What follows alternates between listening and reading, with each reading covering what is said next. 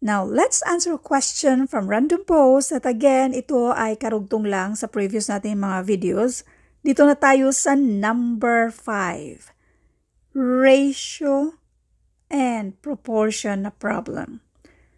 Number 5, the sum of three numbers is 98.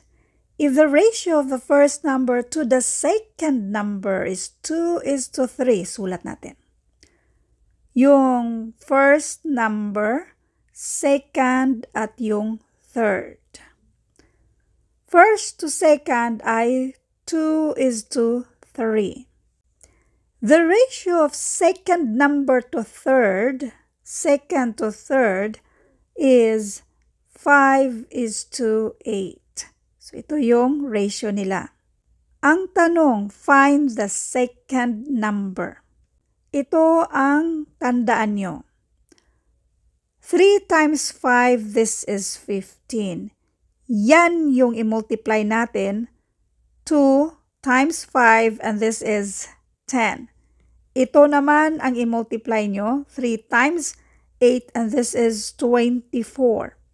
Ngayon, i-add na natin to.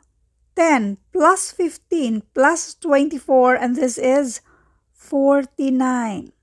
Yang 49 na yan, yan yung pang-divide natin sa total. Ang total ay 98. 98 divided by 49 and this is equal to 2. So, balikan natin yung tanong. Ang tanong kasi dito ay find the second number. So, yung second number na yan ay i-multiply natin sa 2. 15 times 2 equals 30. Kaya ang sagot dito, letter E, 30. E-double check natin. Itong 2 na to, i-multiply natin sa 49. So this is 98. I-multiply natin dito sa 24 and this is 48. And then, i-multiply din natin sa 10, 10 times 2 and this is 20. Now, lahat ng nasa First number, lahat ng yan ay 20. Yung second ay 30. Next, yung third ay 48. Now, kung i-add natin itong tatlo, 20 plus 30 plus 48, and this is exactly equal to 98. Yung 98 na yan, the sum of three numbers is 98.